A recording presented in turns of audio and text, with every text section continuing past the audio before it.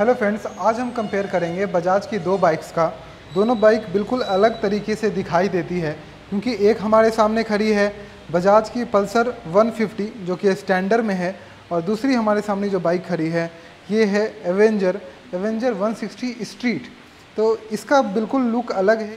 यह एक cruise bike है, और इस बाइक को अगर हम देखते हैं तो ये एक मल्टीपर्पज़ स्पोर्ट्स बाइक है, जिसको हर तरीके से इस्तेमाल किया जा सकता है। इसको भी हर तरीके से इस्तेमाल किया जाता है, लेकिन इसका लुक बिल्कुल डिफरेंट दिखाई देता है।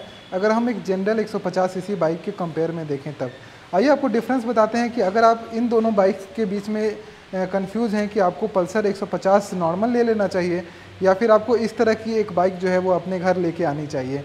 तो इन दोनों में आपको क्या साइकोलॉजिकली डिफरेंस मतलब क्या आपकी सोच में क्या अंतर आना चाहिए कि आपको कौन सी बाइक लेनी है किस तरह का आपका जो है इस्तेमाल है बाइक का, उसके अनुसार इन सभी चीज़ों के बारे में बात करेंगे और इसका ओवरऑल जो डिज़ाइन बनाया गया है, मान लीजिए 150 सीसी ये जो बाइक आप देख रहे हैं, इसका डिज़ाइन या फिर इस बाइक का डिज़ाइन वो किस पर्पज़ से बनाया गया है, क्यों लेना चाहिए, उन सभी चीज़ों के बारे में बात करेंगे। तो सबसे पहले मैं आपको बताता हूँ कि इस बाइक को जो हम देखते हैं तो इस बाइक को सभी लोग चला सकते हैं, आसानी से चला सकते हैं। एक आम दिखने वाली बाइक है जो सभी जगह पे दिख जाती है आपको, क्योंकि पल्सर 150 सीसी या फिर इस तरह के डिज़ाइन सेगमेंट का जो भी बाइक होता है, जो भी बाइक आपको इस डिज़ाइन में मिलती है, जैसे FZ हो गया एक्सट्रीम 160 हो गया, इन सभी बाइक्स के अगर बारे में हम बात करें तो सबसे यही खास बात होती है कि ये बाइक जनरल तौर पे सभी लोग इसको आसानी से चला सकते हैं, सभी के हाथ के में बैठी हुई बाइक होती है। मतलब सभी लोगों ने एक बार ना एक बार इस तरह की बाइक जो है चलाई होती है। लेकिन अगर ये बाइक अगर आप सबके सामने लेके जाते हैं तो ये बिल्कुल ऐसी बाइक है जिसको सबने एक बार नहीं चलाई होती है। ये बहुत कम लोगों ने जो है चलाई होती है, क्योंकि इस बाइक का जो है सेल्स जो है, वो ऐसे ही लोग ज़्यादातर खरीदते हैं जिनको बाइक का काफ़ी शौक हो और जो इस तरह की जो है एक क्रूज़ बाइक लेना चाहते हैं, उनको ज़्यादा पसंद आती है। आइए, इस बाइक का जो है बेनिफिट क्या है और उस बाइक को लेने से क्या क्या बेनिफिट है, उसके बारे में बात करते हैं। तो इस बाइक का बेनिफिट ये है कि अगर आपकी सबसे पहला पहला बेनिफिट और सबसे पहला अगर मैं एक बात बोलूँ, जिससे मे भी आपका डिसीज़न ओके और नॉट हो जाएगा, कि इस बाइक का जो सीट हाइट है वो बहुत ज़्यादा कम आता है। बहुत ज़्यादा कम सीट हाइट होने के कारण आप इस बाइक को मतलब पाँच फिट के भी लोग हैं, पाँच फिट से भी एक आकाद इंच आपका, अगर आपका हाइट कम है तो आप एवेंजर को आराम से चला सकते हैं। कोई भी किसी तरह का दिक्कत आपको नहीं आता है। लेकिन अगर आपकी हाइट पाँच फिट की है तो इस बाइक को चलाने में आपको दिक्कत आएगी। आपकी हाइट मस्ट भी जो है पाँच फुट दो इंच, तीन इंच से जो है ऊपर होनी चाहिए, तब पल्सर 150 सीसी आपको जो है चलाने में मज़ा आएगा। दूसरी बात होती है, ये आप समझ गए होंगे कि हाइट का क्या डिफरेंस आता है, लेकिन मैक्सिमम हाइट का कोई लिमिट नहीं है। आप किसी भी हाइट तक जाके जो है दोनों में से कोई भी बाइक चला सकते हैं। अगर आपकी हाइट ज़्यादा भी है तो ऐसी कोई दिक्कत आपको नहीं आती है। अगर सेकंड बात पे आते हैं तो अगर आप लुक के नज़रिए से देखिएगा तो अगर आपको कोई ऐसी बाइक चाहिए जो कि साधारण लुक में आती हो और सभी लोग के पास हो और कोई बहुत ज़्यादा लुक से आपका मतलब नहीं रहता हो कि बाइक कैसी दिखती है, नहीं दिखती है, अच्छी दिखनी चाहिए, लोगों का उस पर जो है थोड़ा ध्यान, आकर्षण आना चाहिए तो आप नॉर्मल एक बाइक ले सकते हैं। लेकिन अगर आप एक ऐसी बाइक चाहते हैं कि लोगों का आकर्षण, लोगों का ध्यान थोड़ा उस बाइक पर जाए, थोड़ा सा वो बाइक जो है कहीं पे खड़ी हो तो थोड़ा सा अलग दिखे, एक अपनी अलग पहचान दिखाए तो उन नज़रिए से जो है 160 स्ट्रीट की तरफ़ आप जा सकते हैं, क्योंकि एवेंजर उस तरह की बाइक है जिसको हम बोल सकते हैं कि जहाँ भी खड़ी होती है, जैसे भी खड़ी होती है, थोड़ा अलग दिखाई देती है। ओके?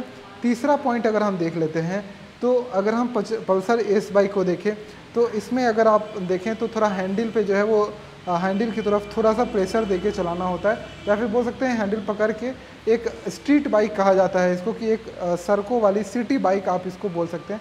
सिटी में चलाना इसको आसान होता है, जो इस डिज़ाइन सेगमेंट की बाइक बनाई हुई होती है। लेकिन अगर इस बाइक के बारे में अगर हम बात करते हैं तो ये बाइक एक टूरर सेगमेंट के हिसाब से बनाया हुआ होता है, क्योंकि इसका टर्निंग रेडियस ज़्यादा होता है, इसको एक बार जो है यू टर्न लेने के लिए ज़्यादा जगह का डिमांड होता है, ज़्यादा जगह खोजती है ये बाइक।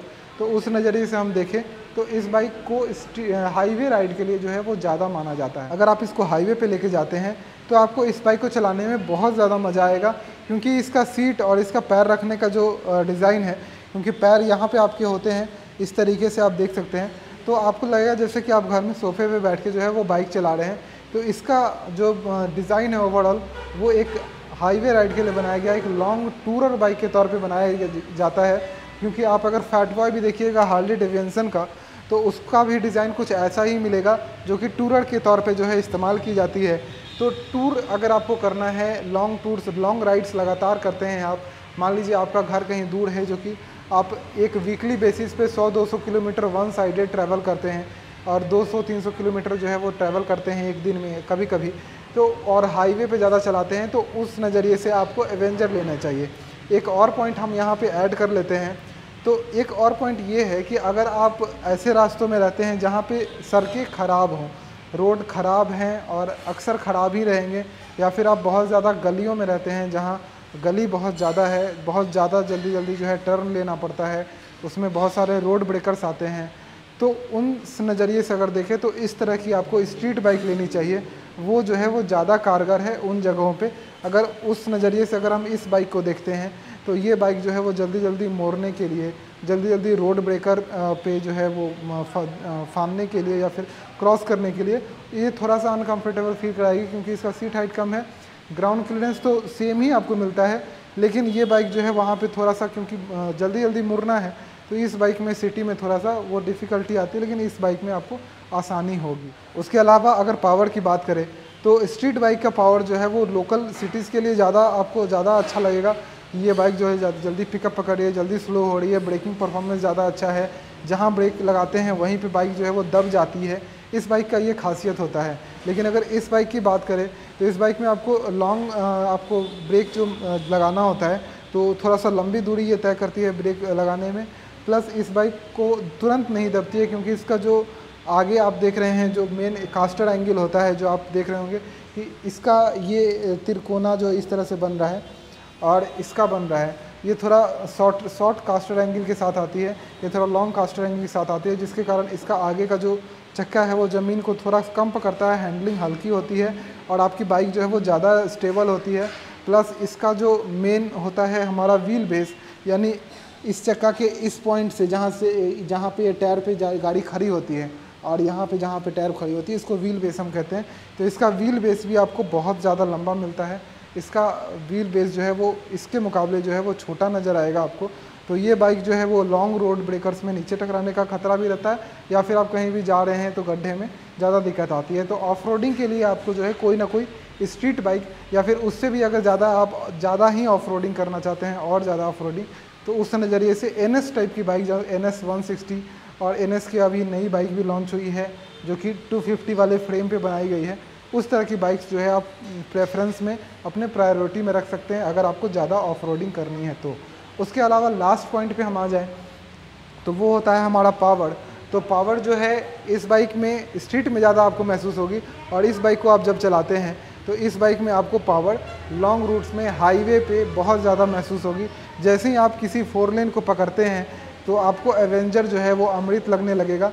लेकिन फोर लेन पे, पे पकड़ने के बाद जो है पल्सर उतनी ज़्यादा अमृत नहीं लगती है। इन कंपैरिजन टू एवेंजर क्योंकि आ, पल्सर जो है उस पर फिर भी जो है स्ट्रेट सीधा बैठ के जो है खड़ी बैठ के चलाना होता है। इस पर जो है सीटिंग कंफर्ट काफ़ी अच्छा मिलता है तो पावर इसमें आपको ज़्यादा महसूस होता है। पल्सर के मुकाबले। मैंने यहाँ पे कोई भी टेक्निकल बातें आपको नहीं बताई हैं, दोनों बाइक के बारे में, ऐसी बातें बताई हैं, जिससे आप अपना डिसीज़न ले सकते हैं।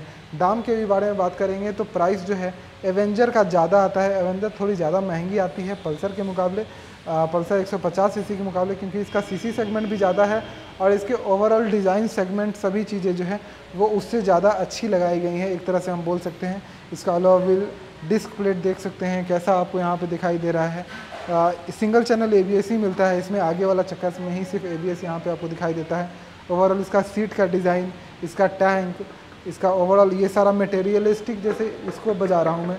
आप इसका सुन रहे होंगे। और मैं इसको बजाऊँगा, आपको साउंड में जो है अंतर नज़र आता है। ये थोड़ा सा ज़्यादा हैवी बल्कि इस तरह का जो है इसका डिज़ाइन पूरा ओवरऑल बनाया गया है। तो ओवरऑल आप समझ गए हों कि आपको कौन सी बाइक लेनी चाहिए। और किस तरह की बाइक लेनी चाहिए, पीछे का भी इसका टायर देख सकते हैं, कैसा है। तो अगर आप इन दोनों में से कोई भी बाइक लेना चाहते हैं तो जीएसवी बजाज पटना का कॉन्टैक्ट नंबर मैं आपको दे दे रहा हूँ डिस्क्रिप्शन में।